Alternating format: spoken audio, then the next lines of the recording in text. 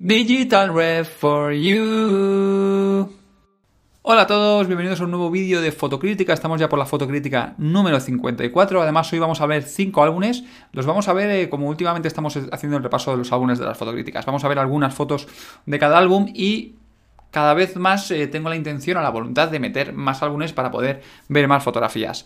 ¿De dónde saco estos álbumes? ¿Cómo formar parte tú de estos álbumes o cómo acabar un álbum tuyo dentro de estas fotocríticas? Pues simplemente tienes que irte a la web, a digitalrefolio.com, que además hemos cambiado el logo y también habéis visto que hemos cambiado la intro. Aquí arriba en el menú veis que pone critica mi álbum, pues pincháis ahí y os saldrá un pequeño formulario y bueno, y unas, eh, un pequeño tutorial de cómo crear un álbum en Flickr y cómo compartirlo. Pues al final de este pequeño tutorial aquí tenéis eh, un formulario donde pone nombre, mail, aquí ponéis vuestro mail, y URL, que es la URL del álbum que os va a dar Flickr. Una vez que me habéis enviado ese mail, pues yo he pasado unos meses, digo meses porque tengo una pila enorme de álbumes para criticar y por eso cada vez tengo la intención de meter más, centrarnos menos en cada uno, verlos a grandes rasgos por encima, ver eh, los grandes, las grandes virtudes o los grandes pecados de cada álbum y, así poder meter todos los posibles dentro de estas fotocríticas. Bueno, vamos a irnos a los álbumes. Como os decía, tenemos cinco álbumes hoy. Tenemos este, este primero de Darío FG, el segundo que es de Rodrigo Jiménez T, el tercero que es de Juan Manuel Sánchez, el cuarto que es de Benjamín Guacil y el último que es de Manu Cano Captures. Vamos a empezar por el primero, que es el de Darío FG. Como veis, es un álbum muy en blanco y negro. Hace poquitas semanas os comenté en un vídeo que, no sé si os lo comenté, os propuse un juego, que era intentar hacer fotografías teniendo ya en cuenta cómo las vamos a procesar, cómo las vamos a editar. Hay muchas veces que pecamos al utilizar blanco y negro en que lo utilizamos como un recurso a la hora del revelado, a la hora de la edición, del del postprocesado, pero que no lo tenemos en cuenta o que no pensamos que la fotografía va a ser en blanco y negro hasta que llegamos a ese momento y a lo mejor muchas veces vemos que no nos acaba de contar nada la fotografía o que en color hay cosas que no acaban de funcionar y decimos, bueno, pues vamos a salir del paso poniéndolo en blanco y negro. Pues una de mis eh, eh, intenciones era pues que jugaseis un poco con la fotografía y que a la hora de hacer fotografías hagáis eh, foto ya pensando en blanco y negro. Además, os digo una cosa, me comprometo con vosotros a que en las próximas semanas eh, vamos a intentar hacer algún vídeo en el cual salgamos a la calle y vamos a hacer únicamente fotografía en blanco y negro. Vamos, la haremos en color seguramente porque la hagamos en fotografía digital, pero solo vamos a procesar esas fotografías en blanco y negro y vamos a intentar captarlas en blanco y negro. Vamos a ver qué conseguimos. Bueno, como os decía, este álbum de Darío Fotos que me han molado, como por ejemplo esta foto del pájaro. Además, hace un par de días una de estas fotos fue fotografía del día. Fotografías que me gustan mucho en color y que me gustan mucho en blanco y negro. ¿Qué diferencias a grandes rasgos tenemos entre esta fotografía en blanco y negro y esta fotografía en color? Pues los colores. En blanco y negro conseguimos que este gris del cielo, o sea, este azul se convierte en este gris. Eh, y hace unos días la fotografía que os comentaba pues era amarilla, tenía un amarillo. Es más, vamos a irnos un momento a Facebook, vamos a irnos a la página web, que aquí la tenemos más a mano. Y os voy a enseñar esta fotografía que os comentaba, que además creo que, mira, hace tres días. ¿Veis que es esta fotografía que tenéis en pantalla. Es un estilo diferente de fotografía, como veis es una fotografía con el fondo amarillo, aquí incluso podemos apreciar esta pequeña diferencia de la nube, pero si nos vamos a blanco y negro y tocamos un poquito las altas luces y demás, podemos acabar con una fotografía no con el cielo tan gris como esta, que esta no ha tenido tanto trabajo, pero fijaros que la diferencia que hay. No tenemos datos EXIF de, la cámara, no sabemos a qué ISO ha sido tomada, y esto os lo digo porque vamos a verla un poquito más grande, algo que no me ha gustado tanto de la fotografía. Hace un par de días os traíamos en el, en el blog que Canon había presentado la nueva Canon EOS 5DS con 50 megapíxeles y muchos me decíais, oye, pero es que esta cámara es que la nitidez es que tal, es que cual. No sé si en esta fotografía nos falta un poquito de nitidez. Pues el ISO, que ha sido disparado con un ISO alto, o porque es un recorte no parece, porque tiene un tamaño original de 5000 píxeles, pero fijaros, ¿veis la parte inferior de este pájaro cómo está como muy moteado, como este pecho que tiene que tener un color más liso está completamente moteado? Podríamos decir, ¿es que Darío le ha aplicado algún filtro, algún efecto, alguna... Eh, algún preset del Lightroom o lo ha editado de esa manera y le ha aplicado un poquito de, un, poquito de grano. Pero no creo que sea eso, porque me da la sensación más de ruido, además de como de pixelado. No lo sé.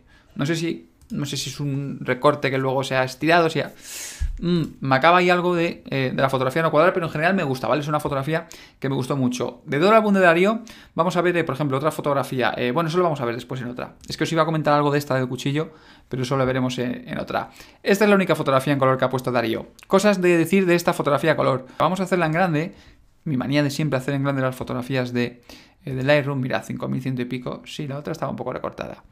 ¿Veis? Aquí tenemos también ese como ese grano, ese ruido, no sé, me gustaría ver el ISO para, para saber un poco a qué velocidad han sido tomadas.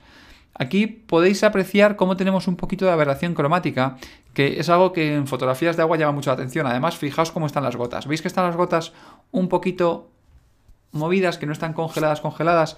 ¿Veis cómo nos falta un poquito de definición? No creo que sea por enfoque, yo seguramente creo que sea por velocidad de obturación. Hemos disparado muy rápido, hemos conseguido congelar ese momento del agua, pero la diferencia entre poner una velocidad de obturación muy rápida y congelar completamente, a tener ese pequeño ese pequeño destello me suele chirriar mucho. Fijaros en esta parte de aquí. Vamos a volver al grande.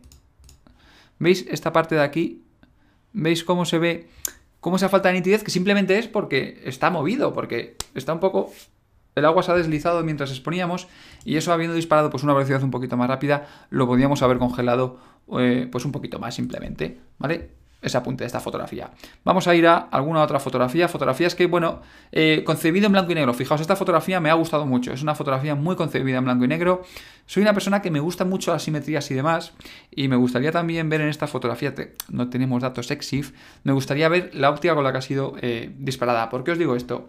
¿Veis cómo dan un aspecto un poco de barrilete? Todos estos nichos, y eso tal vez dependa mucho de la óptica que hemos utilizado.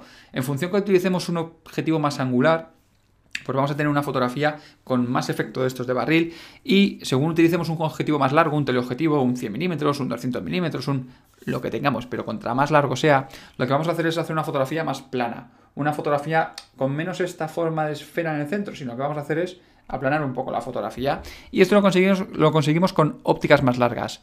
Pero lo que os decía de que me gusta cómo la fotografía ha sido concebida o cómo está pensada la fotografía en blanco y negro es por las sombras que tiene. Fijaros en las partes blancas que tienen textura por los pelos, ¿vale? Muy justito, pero tenemos textura en el fondo prácticamente de cada nicho, exceptuando en este primero. Y la verdad es que es una fotografía que me gustó, ¿vale? Me parece una fotografía muy concebida en blanco y negro, al igual que, por ejemplo, esta eh, fotografía también de Darío, que también es una fotografía que me gustó bastante por el motivo y, aunque una pequeña cosa que criticar de ella, es el punto de enfoque. Es algo... La fotografía en blanco y negro siempre digo que es una fotografía que tiene que ver mucho con eh, la vista o la visión artística de cada uno, ¿vale? A algunos que les gustará mucho una fotografía en blanco y negro, habrá otros que no les gustará nada esa fotografía en blanco y negro. Y en esta fotografía de blanco y negro, yo lo que me ha llamado un poquito menos la atención es el punto de enfoque. Fijaros que el punto de enfoque en esta fotografía lo tenemos aquí en esta parte de aquí, en esta parte de la pared, toda esta pared está a foco, pero esta persona que está justo detrás, fumando aquí, además escribiendo en la pared, lo tenemos fuera de foco. Yo en mi caso me hubiese gustado más que estuviese a foco tal vez en esta persona o que hubiese estado a foco en un encuadre diferente, o sea, que este foco que tenemos en la pared hubiese estado así pero en un encuadre diferente. Creo que estos, eh, estos enfoques no en la acción, sino en un lugar estático y que la acción ocurre de fondo, Personalmente, en este tipo de fotografías de una pared, creo que suelen funcionar mejor en un encuadre horizontal. No sé vosotros cómo lo veis, pero desde mi punto de vista, esta fotografía con el enfoque aquí funcionaría mejor, un poco más cerca de la pared y con un encuadre horizontal que con un encuadre vertical. Pero ya os digo, la fotografía en blanco y negro tiene mucho de gustos de cada uno y demás, así que lo dejo un poco en vuestras manos. Lo que os iba a decir de esta primera fotografía es que esta fotografía Darío la ha disparado con un flash. Fijaros cómo hemos quemado en, en, la hoja del cuchillo, cómo tenemos el rebote, bueno, y en el mango. Fijaros cómo tenemos el rebote del flash y toda esta parte se ha quemado. Esto nos contrasta mucho porque Darío ha tocado la exposición de tal manera que ha sacado textura en el resto del cuchillo, pero en esta parte no ha podido sacar porque estaba el fogonazo. Yo hubiese buscado una exposición diferente. Si no puedo tener textura en todo el cuchillo, prefiero no tener textura en todo el cuchillo a tener texturas en un lado sí, en un lado no, porque esto nos llama mucho la atención, esto nos canta un montón de que la fotografía se nos ha pasado de exposición o que hay algo que reflejó ahí que se nos ha pasado de exposición. A lo mejor poner algo delante del flash, un folio, intentar rebotarlo, hacer algo con el flash o alguna cosa diferente para conseguir tener pues eh, esa parte con información, porque además creo que la mano podría entender que si todo el cuchillo tuviese textura, que estuviese así oscura, pero teniendo el cuchillo así quemado, no sé, me da un aspecto me, resulta muy llamativo como algo, como que algo de la exposición no ha funcionado bien. O sea, no, hemos dejado de controlar algo de, la exposición. Vamos a pasar al siguiente álbum que tenemos unas pocas fotografías deportivas, ¿vale? Fotografías que vamos a ver. Además, tengo pendiente con vosotros. Tengo la segunda promesa de hoy. Tengo pendiente con todos vosotros un podcast sobre fotografía deportiva que os juro os juro que está a esto, ¿vale? Que le queda poquito para, para llegar. Vamos a empezar viendo esta fotografía, que como os digo es de fotografía deportiva. Una de las cosas que, bueno, que me llama la atención simplemente al ver esta fotografía es el aspecto. No tiene un aspecto de una cámara reflex, no tiene el aspecto de tres medios. Y es una cámara reflex, eso es una Canon EOS 1100D. Así que Ahí lo primero que no me llama, eh, que no me cuadra mucho. En fotografía deportiva, yo no soy fotógrafo de fotografía deportiva, ¿vale? No eh, estoy centrado en eso, ni mucho menos, pero quiero hacer cosas, ¿vale? Estoy ahí, ahí, ahí a puntito, además de que os tengo, eh, os prometí un podcast de fotografía que está a esto de llegar. Aparte de eso, quiero también hacer algunas cosillas con fotografía deportiva, algunos vídeos como os comenté antes, pues la idea del blanco y negro. Quiero también hacer algunas cosas con fotografía deportiva, pero estoy esperando a ver, eh, intentar colaborar con alguien para que nos deje o para que podamos utilizar objetivos eh, un poquito largos, ¿vale? Porque eh, yo personalmente el equipo que tengo es de óptica fija, es, un equipo muy luminoso pero cortito, ¿vale? No suelo hacer fotografías a sujetos largos, así que bueno, no me rollo mucho. Vamos a volver a la fotografía. Otra de las cosas que me llama la atención, aparte del aspecto, es que la publicidad está como muy enfocada, ¿vale? Que está perfectamente enfocada, pero sin embargo la cara del jugador no me da esa sensación tan enfoque. Podríamos pensar, es que está disparada a una velocidad de obturación lenta, pero no, porque está disparada, como veis, a un milavo de segundo. Y aquí viene, pues, una pequeña crítica que podemos hacer a la fotografía. Fijaros que el jugador tiene aspecto de estar estático, de no estar en movimiento, por lo que un milavo de segundo me parece una velocidad de obturación muy alta para el ISO que tenemos. Podríamos haber ajustado un poquito más el ISO, podríamos haber bajado a un 1600 ISO y disparar a un 500 a segundo. Creo que sí. También depende de situaciones, ¿vale? Sí que es cierto que mientras estás haciendo fotografías en un partido de fútbol, como es este caso, y un jugador se está moviendo por el campo, en este momento está parado, pero a lo mejor al segundo echa a correr y oye, pues ya tienes pillada la velocidad, ya tienes pillada la exposición, eh, ya estás con la cámara lista, ¿no? Vas disparando, pero bueno. Puede ser también que sea un recorte y que por eso notamos como la cara muy desenfocada. Fijaos que el archivo original es de 3000 y pico tal. Tiene un recorte, pero no creo que sea tan grande como para tener eh, ese aspecto, pero no sé. No encuentro un motivo por qué esa cara está un poquito. Tiene un poquito ese aspecto de fuera de foco. De fuera de foco porque ya os digo, un milavo de segundo no me parece velocidad eh, lenta como para que tengamos algo un poquito fuera de foco. La siguiente fotografía, pues como veis, eh, fotografía otra vez de fotografía deportiva. En este caso criticar, más que criticar, eh, resaltar algo, ¿vale? Que, ostras, en la fotografía deportiva es muy importante el momento y en qué momento disparas y en qué momento no disparas. Hace unos días uno de vosotros me, ponía un comentario en YouTube y me preguntaba que, qué le venía mejor para hacer fotografía deportiva, si una 5D no sé. Yo no recomiendo una cámara de estas, una 5D o cámaras que no tengan al menos 7-8 fotogramas por segundo para fotografía deportiva porque depende mucho el momento la fotografía deportiva. Y si esta misma fotografía la tuviésemos una fracción de segundo antes con el balón en el pie de este jugador, tendría otro aspecto de la fotografía, pero aquí podemos pensar que es un balón dividido, que está aquí en medio de estos dos, es este quien conduce la pelota, es este que está intentando entrar, es este quien pasa y este quien va detrás de la pelota.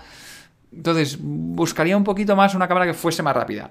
En este comentario que os digo, yo dije una Canon EOS 1 de X. Vas a decir, joder, es que claro, es que es un camarón, es que cuesta una... Es que yo os diría que al menos que sea una cámara rápida. Si no podéis llegar a esto, pues no sé si la 7D nueva si no recuerdo cuánto tenía, no sé si era 10 fotogramas por segundo, la Canon EOS 7D más 2, no estoy muy seguro, pero una cámara que sea muy rápida, que al menos estemos hablando 7-8 fotogramas por segundo, porque por ejemplo, la 5D más 2 se queda en 3. Es algo corto, la 3 se queda en 6, tampoco es una locura. Y las nuevas, eh, que han presentado hace unos días, con esa barbaridad de megapíxeles, pues estamos hablando de cámaras que llegan a 5 fotogramas por segundo, ¿vale? Así que yo os diría que un escaloncito más a cámaras que sean un poquito más rápidas. Además, en fotografía de deportes, tener una cámara PSC es una ventaja, porque podemos llegar más distancia con un objetivo un poquito más corto. En esta vemos diferencias con la otra. ¿Veis un ISO 320 que me parece más normal? Es posible que en el caso de la otra sea por ruido, el aspecto se desenfoque. Y la velocidad de actuación un, un 1600 avo de segundo. Mm, aquí tenemos la fotografía, como veis, más congelada que en otro caso, pero es un momento más de acción, más de movimiento. Entonces, mm. Próxima fotografía, fotografía nocturna. Vamos a hablar algo de esta fotografía nocturna. La fotografía nocturna, igual que os decía antes en el blanco y negro, me parece que es una fotografía que está también muy centrada un poquito en el arte de cada uno. Y en esta fotografía tampoco quiero eh, decir nada porque, bueno, al fin y al cabo ahí entra pues la intención de Rodrigo Jiménez ahora de hacer esta fotografía.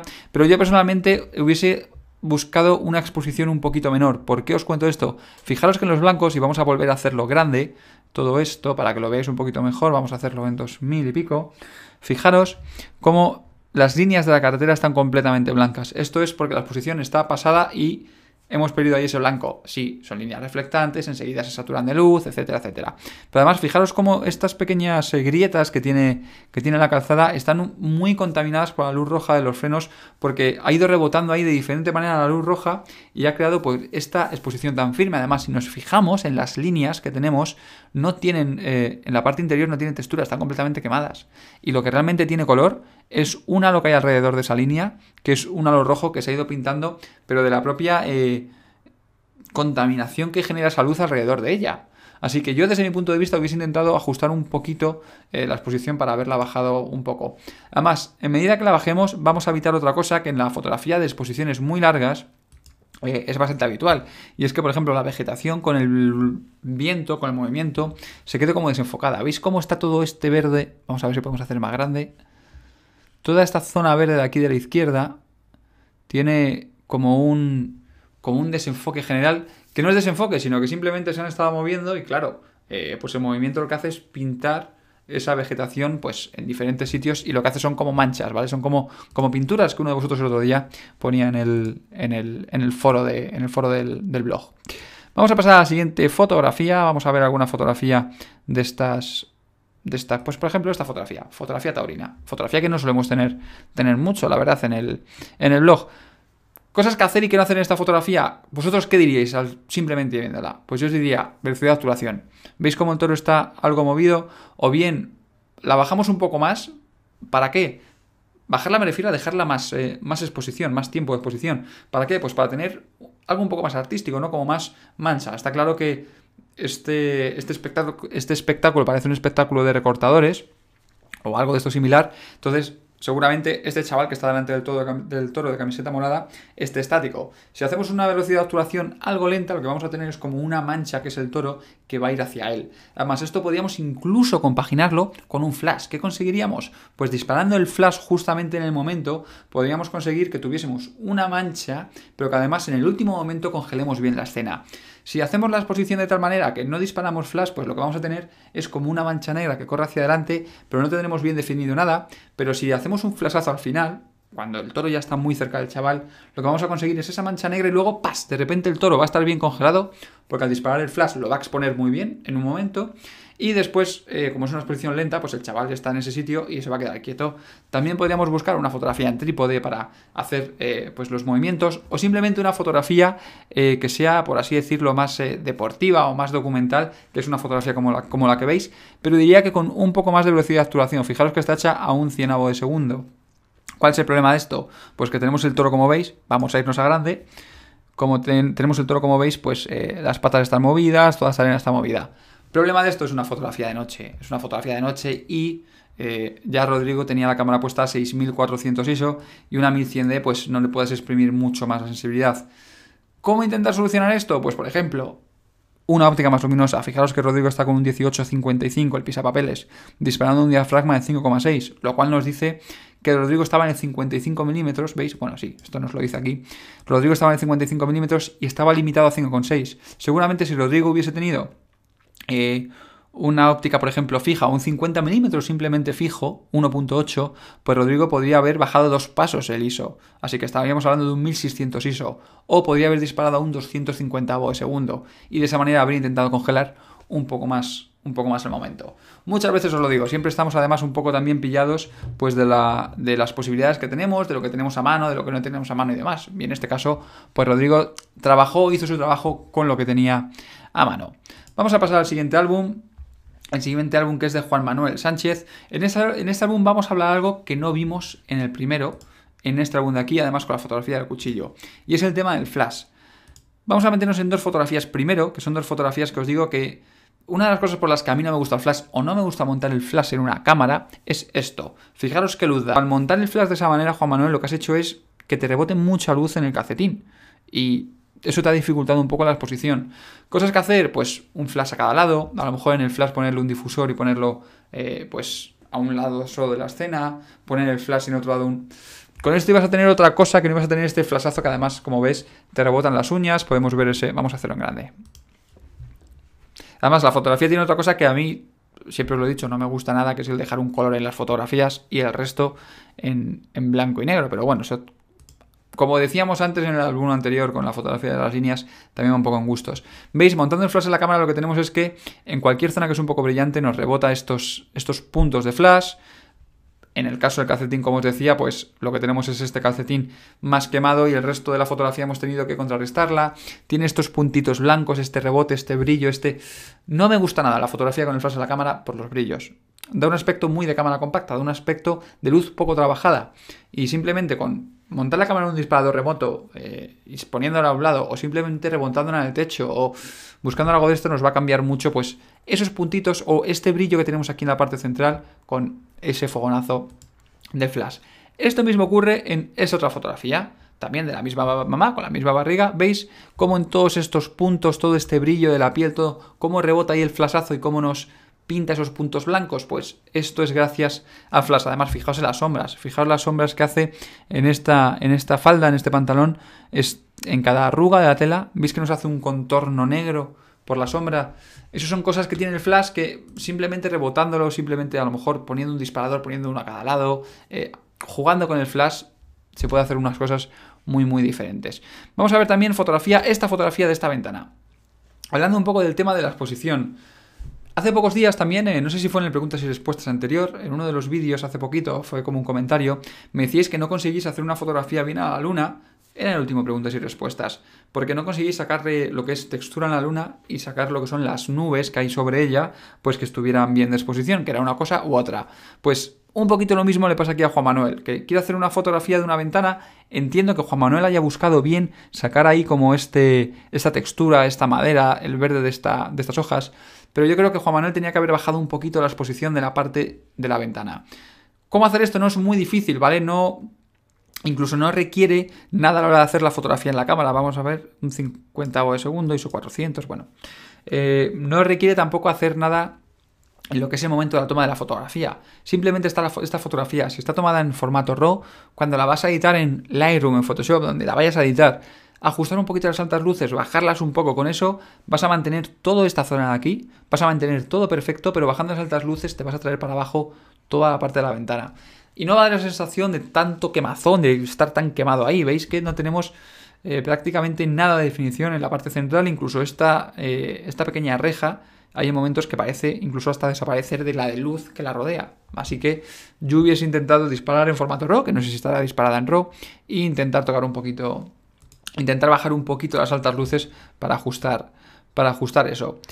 Pero vamos a pasar al siguiente álbum. El siguiente álbum es de Benjamín Guacil. Fotografías de Benjamín Guacil que una de las cosas que me llaman la atención son los cielos, ¿vale? Y por eso he traído este álbum, porque quería hablaros de los cielos de este álbum de Benjamín. Fijaros, una fotografía urbana, ¿vale? Fotografía de una ciudad que me parece que está eh, bien de exposición, me parece que está bien de colores, podríamos decir que no está ni muy cálida ni tampoco está muy fría, pero fijaros en el cielo, ¿no os llama mucho la atención el cielo? Ese aspecto que tiene como de HDR, es algo que a mí me ha, llamado mucho la atención, eh, pues nada más verla, la verdad. Vamos a la siguiente fotografía, que vamos a ver esta fotografía de aquí. Hace unas semanas, en el último capítulo que hicimos de Lightroom, os comentaba algo sobre el tema de los ajustes de Lightroom y demás. ¿Por qué os digo esto? Fijaros en esta fotografía, veis en esta parte de aquí del fondo que tenemos como este aspecto, como este blanco, amarillo, gris, raro. Esto es porque realmente aquí la blanca tiene, la cámara tiene una información de un color blanco, pero a base de intentar bajar y bajar y de ajustarle y de ajustarle, hemos dicho que no, que quiero que bajes, que quiero que bajes. Y como la cámara no puede sacar color, al final le da ese aspecto que debería tener algo blanco, le da un aspecto como grisáceo, raro, como este tono un gris amarillo que además se junta y un poco el balance de blancos y demás y tiene un aspecto muy raro. Por eso os decía en el último capítulo de Lightroom que yo soy partidario de no bajar eh, al tope el tema de niveles o el tema de altas luces y demás, porque enseguida cuando llegamos al tope se empastan mucho, ¿no? Nos da un aspecto muy, muy artificial. Además, en esta fotografía, no sé si será así o no, no sé a vosotros, pero me da un aspecto que todo el contorno de los edificios está como con una exposición diferente, ¿vale? No sé si es casualidad, si es colocación de nubes, pero me da la sensación de que hemos ajustado las altas luces de tal manera, o que hemos aplicado incluso unos, eh, unos degradados de exposición, porque como veis, veis este edificio de aquí que tenemos esta parte de aquí en un tono más oscuro que, eh, y en este edificio de aquí que tenemos esta parte más oscuro de lo que puede estar esta parte de aquí, o de lo que puede estar esta parte de aquí. Pues me da la sensación de que está hecha la fotografía, está jugando mucho con, con diferentes degradados de exposición y demás. En muchas ocasiones el cielo azul hace una fotografía muy bonita, cambia mucho tener una fotografía con el cielo azul a una fotografía con un cielo blanco, pero muchas veces le da un aspecto extremadamente artificial, como puede ser por ejemplo en el caso de esta fotografía. Y como bien ha titulado Benjamín, la fotografía se llama HDR. Y ves que da ese aspecto ficticio. A mí no me gusta el HDR, no soy partidario de utilizar la función HDR de las cámaras. Para algunas cosas, oye, está bien utilizar HDR porque te hace falta sacar una exposición no perfecta, sino sacar una exposición una cosa como es. O sea, tienes que sacar diferentes iluminaciones dentro de un mismo sujeto y quieras sacar el sujeto entero, perfecto. Pero para fotografía como tal o fotografía que no es para nada en especial, por ejemplo, me voy a explicar. Eh, pues yo que sé, un satélite hace una fotografía de un planeta. Entiendo que lo hagan con técnicas HDR porque quieren sacar una fotografía del planeta. Es una fotografía más de ciencia que de fotografía en sí, o sea, que de arte en sí. Entonces, en estos casos lo entiendo el tema del HDR, pero en fotografía que busca un poco más el lado artístico, me parece, me parece que las sombras y le dan mucha más vida a una fotografía. Luego, sin duda, fotografías que me han gustado de Benjamín. Esta fotografía de de estas torres que fijaros cómo perdemos incluso la parte de arriba de las torres. Tal vez, eh, desde mi punto de vista, ¿vale? Y esto ya es un aspecto personal, hubiese buscado otro lado del edificio que no tuviese en la parte inferior otra construcción como esta, por ejemplo. ¿Por qué os digo esto? Porque hubiese intentado buscar un poco más pues la simetría de decir, aunque aquí la ha buscado Benjamín, porque fijaros que está en el centro, esta línea de aquí, pero hubiese buscado pues que el edificio por los dos lados tuviese ese, ese, ese degradado a blanco que tiene en la parte, en la parte superior arriba. Y además hacer la fotografía en blanco y negro me parece también un acierto, porque hay muchos casos de estos que el color no que despiste, pero sí que a lo mejor ensucia mucho el tema de las nubes y no tiene esa, esa, transición desde el negro, los tonos grises oscuros como tenemos en la parte de abajo, hasta el blanco en sí de las nubes. La última fotografía que vamos a ver del álbum de Benjamín es esta fotografía que veis aquí. Fotografía que me ha flipado, porque he dicho, ostras, eh, ¿Qué punto de enfoque más bueno? No tenemos datos EXIF, vaya, una pena. Pero me ha llamado la atención porque son cosas que, eh, fijaros, lo fino que hay que hilar para conseguir el punto de enfoque sobre, sobre esa mosca que está volando. Mosca avispa, sí, parece una mosca más bien. Y me llamó la atención porque, fijaros, seguramente sea un recorte, vamos a ver 2400 píxeles, vamos a ver el resto de imágenes, que es normalmente una buena técnica para saber si es un recorte o no es un recorte. Vamos a ver el tamaño en píxeles que tienen. Vaya, me he metido en la misma foto. Eh, vamos a poner una horizontal, esta fotografía por ejemplo. No, pues tiene los mismos píxeles, no parece, no parece un recorte. Pues sin duda que un punto de enfoque muy preciso. Felicidades Benjamín, porque esto no es fácil de repetirlo, de repetirlo muchas veces, porque los puntos de enfoque de las cámaras, aunque tengas el sujeto ahí, hay muchas veces que fallan un poco. Y vamos a pasar al último álbum, que es el álbum de Manu Cano Captures, un álbum con fotografía, como veis, más apagaditas de contrastes, un álbum con un toque diferente. Una de las cosas que me ha gustado de este álbum es eso, ¿vale? Es la edición, es una edición diferente a las otras, como veis, ediciones un poquito más frías, un poquito más playitas, además, esta fotografía de todo el álbum es la que más me ha gustado, sin duda. De estas fotocríticas siempre, y los que veáis el vídeo a través de YouTube, los que sigáis a través más de los que me sigáis más a través de Facebook ya lo sabéis, o los que sigáis más el blog ya lo sabéis, pero yo normalmente siempre en estas fotocríticas elijo unas pocas fotografías que yo pongo como mis favoritas de las fotocríticas. Y sin duda que en esta ocasión esta fotografía va a ser, va a ser una de ellas. Lo que quiero ver de esta fotografía es la velocidad, la velocidad de obturación, un 320 de segundo. ¿Por qué os decía esto? Porque esta parte de aquí abajo, la parte de las manos, me daba un poco sensación que no sabía bien si era desenfoque o era realmente pues un poco que estaba movida. Pero fijaros cómo la cara está perfectamente a foco. Además, una de las cosas que me ha gustado de esta fotografía es, la edición. A mí me gusta este tipo de ediciones así, con contrastes bajitos, con este aspecto, y la verdad es que eh, la cara de esta niña, además, con esas pedazo de gafas, eh, pues me gustó simplemente. Otra fotografía, pues como esta segunda que tenemos de flores, pues también con este aspecto, como veis, así de bajos contrastes, con cosas muy apagadas, pero en este caso hay que ser un poquito más tiquismiquis porque en este caso me parece que es una fotografía un poco más caótica. Además, no hay un punto de enfoque claro. Algo que me llama mucho la atención de la fotografía al verla es que tengo la mirada un poco perdida. No sé dónde va el ojo. El punto de enfoque de toda la fotografía está en esta zona de aquí. Está en esta hoja de aquí. Está en estas hojas de aquí. En esta, esta y esta. En estas tres y en esta de aquí. Pero no tenemos ninguna foto que sea, ninguna foto, ninguna flor que sea el peso fuerte de la, fotografía y eso me chirría un poquito. Otra de las cosas, que este filtro, este preset, esta eh, edición que Manu le ha dado a esta fotografía, fijaros que se le ha metido tanto que ha contaminado mucho las flores blancas. Creo que le ha metido este grano que en fotografía en color no me parece bonito. En fotografía en blanco y negro el grano es bonito porque la película en blanco y negro era película pues que tenía grano. En la fotografía color no hay un grano como tal el grano no es bonito. Así que cuando utilicéis este tipo, este tipo de filtros de película y tal o filtros que den un aspecto vintage, tener cuidado porque hay veces que en las zonas blancas mete demasiado punteado y da un aspecto que desde mi punto de vista es un poco raro, ¿vale? Y como os digo, otra cosa de la fotografía es la ausencia de un sujeto claro. A lo mejor buscar pues que esta foto estuviese a foco, buscar cerrar un poco más el encuadre sobre ella, buscar pero no hay nada que me parezca espléndido en la fotografía, la veo como un poco huérfana, por así decirlo. Creo que me entendéis. Vamos a otra fotografía, vamos a ver ahora esta fotografía que es justo de la esquina de un edificio, fotografía que además ha sido hecha con un 1855, con la posición más angular, la posición de 18 milímetros, y me ha gustado mucho por la exposición. Seguramente Manu ha tenido la suerte de aquí a la derecha tenía un edificio que reflejaba bastante luz, otro edificio blanco, o un edificio con ventanas que justo reflejaban la luz del sol, porque me gusta Fijaros cómo tiene esa luz el edificio por los dos lados como una exposición. Además, fijaos que tenemos el cielo azul. Cosas que no me gustan de la fotografía, por ejemplo, pues mirad cómo hemos dejado esta farola aquí tan huérfana, cómo hemos cortado.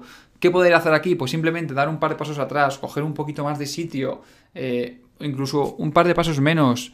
A lo mejor, si nos ha gustado mucho esta esquina del edificio, pero tenemos un elemento como es esta farola que nos molesta, pues buscar hacer un encuadre diferente que deje de lado esta farola, pero que no pierda eh, esa, eh, ese motivo que hemos encontrado que nos gusta. Pues a lo mejor manteniendo el mismo encuadre, pero haciendo un encuadre pues desde un lado más pues más abajo, o sea, es decir, cerrando un poquito más el encuadre sobre el edificio y sacando esta curva, esta parte de arriba, vamos a mantener las iluminaciones, vamos a cortarlo de abajo, pero bueno, puede ser que también, que también funcione, pero llevad cuidado, por ejemplo, en esta fotografía algo que también es muy arriesgado es el tema de los cables. Veis cómo los cables van por encima y nos dicen que hay cosas cercas, como ese tejado que podemos encontrar aquí, como os decía, la farola, esta palmera que se nos mete en esta parte de atrás, son elementos que aparecen por las esquinas, que aparecen con los bordes y nos da la sensación como muy de agobio, como muy de recorte, como nos falta ver algo ahí detrás.